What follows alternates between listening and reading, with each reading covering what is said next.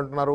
మహాలక్ష్మి పథకంలో భాగంగా ఈ గ్యాస్ ఐదు వందల రూపాయలకి ఇచ్చే దాని మీద విధి విధానాలు ఇట్లా కొన్నిటి మీద విధి విధానాలు అంటున్నారు ఉచిత రెండు వందల యూనిట్ల లోపు ఉచిత విద్యుత్కు కూడా విధి విధానాలు తయారీలో ఉన్నామని చెప్తున్నారు నిన్న. వీరయ్య గారు. అంటే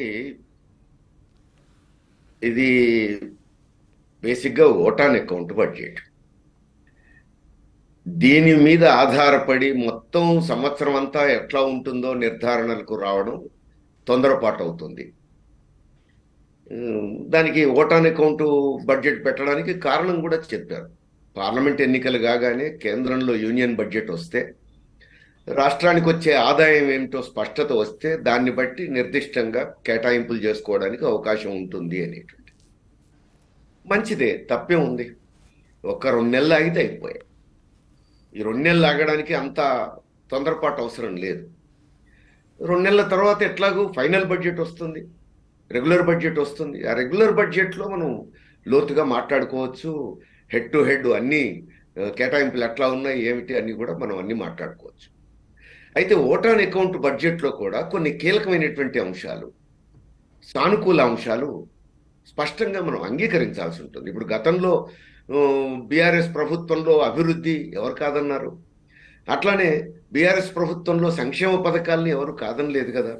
ఆ రెండింటిని వాళ్ళైనా ఇంకెవరైనా అంగీకరించాల్సిందే. అభివృద్ధి పేరు మీద ఏమైనా అవినీతి జరిగిందా అనే అంశం ఆ కోణం వేరు. అందుకని అప్పుడు బీఆర్ఎస్ఆ ఇప్పుడు కాంగ్రెస్ ఆ పాయింట్ కాదు. ఇప్పుడు కాంగ్రెస్ గవర్నమెంట్ పెట్టినటువంటి ఓటాన్ అకౌంట్ బడ్జెట్లో కొన్ని సానుకూల అంశాలని మనం రాజకీయ భేదాభిప్రాయాల్ని పక్కన పెట్టి చూడాల్సిన అవసరం ఉంది. భానుప్రసాద్ గారు ఒకటి స్పష్టంగా చెప్పారు. బడ్జెట్ అనేటువంటిది కంటిన్యూటీ బడ్జెట్ను బడ్జెట్గా చూడాలి. చూడాల్సి వచ్చినప్పుడు సానుకూల అంశాలని సానుకూల అంశాలుగా కూడా మాట్లాడుకోవాలి. ఉదాహరణకి ఇప్పుడు రైతు బంధు గురించి చెప్పారు. రైతు బంధు కంటిన్యూటీ కంటిన్యూటీని కాంగ్రెస్ ప్రభుత్వం కాదనట్లేదు. ఇంకో కొంత పెంచి ఇస్తామంటున్నది. పదిహేను వేలు ఇస్తామంటున్నది. అది ఎన్నికల్లో చెప్పినటువంటి వాగ్దానాన్ని ఖచ్చితంగా అమలు చేయబోతున్నామని చెప్పింది. ఈ ఇది సానుకూల అంశం. అంతేకాదు ఒకటి సరిదిద్దుతానని చెప్పింది. బడ్జెట్లో అది చాలా అప్రిషియేట్ చేయాల్సినటువంటి విషయం. ఏమిటి? సాగులో లేని భూములకు రియల్ ఎస్టేట్ భూములకు రాళ్ళు రప్పలు బోళ్ళు బొచ్చలు ఉన్నటువంటి ఉన్నటువంటి భూములకు ఇవ్వాల్సిన అవసరం లేదనేది. నేను కూడా చెప్పాను చాలాసార్లు బీఆర్ఎస్ గవర్నమెంట్ ఉన్నప్పుడు కూడా మన చర్చల్లో వాళ్ళకి ఎందుకు ఇవ్వాలి? అసలు సాగులో లేని రైతు బంధు అంటేనే వ్యవసాయం చేయడానికి పెట్టుబడి సాయం అన్నప్పుడు వ్యవసాయమే జరగను జరగని భూములకు ఎందుకు ఇవ్వాలి? వ్యాపారంలోకి వెళ్ళిపోయిన భూములకు ఎందుకు ఇవ్వాలి? అందుకని అక్కడ దుర్వినియోగమైనటువంటి నిధులు చాలా పెద్ద ఎత్తున ఉన్నాయనేది అందరికీ అర్థమయ్యే విషయం. హైదరాబాద్ చుట్టూ ఉన్న భూములన్నీ చూస్తున్నాం కదా మనం. అందుకని ఇది ఈ కరెక్షన్ అనేది కరెక్ట్. ఇంకో కొంచెం చేసి మీరు చెప్పింది వాస్తవం. యా వీరయ్య గారు మీరు చెప్పింది. తప్పలేదు దాంట్లో తప్పలేదు ఇక్కడ కానీ ఆ పేరుతో ఆ పేరుతో వ్యవసాయదారులకి ఆలస్యం చేయడం అనేటువంటి దాన్ని ఒక మాట వీరయ్య గారు వీరయ్య గారు ఇక్కడ నేను ఒక- ఒక మాట వీరయ్య గారు వీరయ్య గారు. ఈ చర్చ ఒక మాట వీరయ్య గారు వీరయ్య గారు వీరయ్య గారు ఒక్క మాట. వీరయ్య గారు ఈ చర్చ వచ్చినప్పుడల్లా బీఆర్ఎస్ నుంచి వచ్చిన ప్రతినిధులు కూడా ఎన్నికలకు పెంచాలి. ఒక మాట వీరయ్య గారు. మిమ్మల్ని అడగాలి నేను ఇది. ఎందుకంటే ఒక వామపక్ష ప్రజాతంత్ర శక్తికి ప్రతినిధిగా ఉన్నటువంటి మీరు డె- డెఫినెట్గా మీ దగ్గర నుంచి నాకు ఒక ఆన్సర్ కావాలి. దానికి రామ్మోహన్ రెడ్డి గారు కూడా సమాధానం చెప్పాలి. ఈ చర్చ ఎప్పుడొచ్చినా కూడా ప్రతి సందర్భంలో కూడా మీలాంటి వాళ్ళు మాట్లాడుతున్నారు. మాలాంటి వాళ్ళము మాట్లాడుతున్నాం. బీఆర్ఎస్ ప్రతినిధులుగా టీఆర్ఎస్ ప్రతినిధులుగా వచ్చిన వాళ్ళు కూడా కరెక్టే. అనర్హులకి ఇవ్వకూడదు. కరెక్టే. మీరు ఏదైనా చేయండి అని చెప్పి అంటున్నారు. ఈ మాట అంటున్నాం ఇప్పుడు అన్నారు రాళ్ళు రప్పలకి ఇచ్చారు. నేను ఒక డిమాండ్ ఏంటంటే సార్ ఈ వేదిక టీవీ ఫైవ్ వేదికగా ఇంతకాలం రాళ్ళు రప్పలకి ఎంతమందికి ఇచ్చారు? ఎవరికి ఇచ్చారు? ఆ జాబితా అయితే రిలీజ్ చేయాలి. అది రిలీజ్ చేయకుండా ఆ, ఊరికే ఏదో ఇక నుంచి మేము అట్ట చేస్తాం ఎట్ట చేస్తాం కాదు. ఇప్పటిదాకా ఈ పదేళ్ళ పాటు ఒక వెయ్యి ఎకరాలు రెండు వేల ఎకరాలు ఎవరి పేరు మీద ఉందా? రాళ్ళు రప్పలు రియల్ ఎస్టేటో లేదంటే అట్లా పడుంది పొలము సాగు చేయలేదు. దానికి ఇదిగో ఇన్ని వేల కోట్లు ఇన్ని ఇన్ని వందల కోట్లు పలానా వ్యక్తి పేరు మీద పలానా విజయ్ పేరు మీద ఇంత డ్రా అయింది పలానా వేరే పేరు మీద డ్రా అయింది. అది కనుక బయటికి రాకపోతే ఈ దీన్ని జనం పెద్దగా విశ్వసించరు వీరయ్య గారు. నా అభిప్రాయం చెప్తున్నా మీకు. మీ డిమాండ్ ఏంటో చెప్పండి నాకు అంతే. కదా అవసరమైతే రికవరీ చెప్పండి వీరయ్య గారు అవసరమైతే గారు. రికవరీ యా, యా, వీరయ్య గారు వీరయ్య గారు ప్లీజ్ ప్లీజ్ ప్లీజ్ ఇప్పుడు మనకు స్పష్టంగా కనబడతా ఉంది.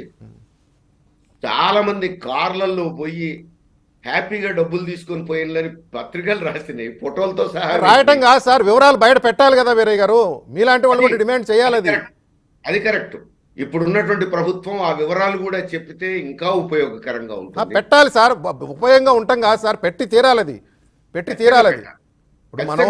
ఇంతకాలం అనర్హులుగా ఎంతమందికి ఇచ్చామనేది పెట్టి తీరాలి జనానికి తెలియాలి కదా మా డబ్బంతా. మేము పన్నుల రూపంలో కట్టిన డబ్బంతా మీరు వాళ్ళకి దోచిపెట్టారని తెలియాలి కదా జనాలకి అది. చెప్పకపోతే తప్పు అవుతుంది ఇప్పుడు అది ఖచ్చితంగా పెట్టాలి తెలియాలి రికవరీ కూడా చేయండి ఆ పని చేయడం వల్ల ఆ పని చేయడం వల్ల ఇప్పుడు కౌలు రైతులకు ఇవ్వడానికి నిధుల కొరత లేకుండా ఉంటుంది కదా. గ్యారంటీగా కౌలు రైతులకు ఇచ్చేటువంటి అవకాశం ఉంటుంది. అసలు గత ప్రభుత్వం కౌలు రైతుల్ని నేను గుర్తించను. ఆ మాట అంటేనే తేళ్ళు జరులు బాకినట్టుగా ఉండేది గత ప్రభుత్వానికి. కౌలు రైతులు అనే మాట వినడానికే సిద్ధంగా ఉండేది కాదు. ఇప్పుడు వీళ్ళు కౌలు రైతులకు ఇస్తామని బడ్జెట్లో స్పష్టంగా చెప్పారు కదా. దీన్ని ఆహ్వానించాలి కదా. ఇంకా చెప్పాలంటే ఇంకా సూచన చేయాల్సి వస్తే వంద ఎకరాలు రెండు వందల ఎకరాలు ఫామ్ హౌస్లు ఉన్న వాళ్ళకు కూడా తీసేస్తే బాగుండేది. ఎందుకంటే సహాయం అవసరమైన వాళ్ళకు చేద్దాం. అవసరం లేని వాళ్ళకి అవసరం లేదు. ఆ విధంగా కూడా పొదుపు చేయగలిగి ఉంటే ఇంకా బాగుండేదని చెప్పొచ్చు కానీ ఇప్పుడు చేసినటువంటి ప్రయత్నాన్ని అప్రిషియేట్ చేయాల్సిన అవసరం ఉంది. ఒక మంచి ప్రయత్నం గతం నుంచి మనందరం చెప్తున్నాం. నిధులు ఇట్లా దుర్వినియోగం కావద్దు అని చెప్పేసి. ఇప్పుడు వచ్చినట్టుగా ఎస్ గవర్నమెంట్ ఎంత నిధులు దుర్వినియోగం అయినాయో లెక్కలతో సహా చెప్పడం అనేది కూడా అవసరమే. అంతేకాదు ఇప్పుడు వర్షాకాల పంటల్లో ఎక్కువ భూమి సాగు చేస్తారు. వేసంగి పంట దాదాపు సగానికి తగ్గిపోద్ది. కానీ మనం చూస్తే వ్యవసాయ వర్షాకాలం పంటలకు ఎంత ఇచ్చినో వేసవి వేసవి పంటకు కూడా అంతే ఇచ్చినట్టు ప్రతి సంవత్సరం కనబడుతోంది కదా. అంటే పెద్ద ఎత్తున సాగు చేయని భూములకు ఇచ్చేసింది అనేది కనబడుతోంది కదా. సింపుల్గా బ్యాంక్ అకౌంట్లో వేసేస్తున్నారు. అక్కడ సాగు అవుతుందా లేదా చూసేటువంటి సమస్య లేదు. కాబట్టి ప్రజల ధనం ఎంత దుర్వినియోగం అయింది అనేది మనం పై పైన చూస్తేనే ఇంత అర్థమవుతాం.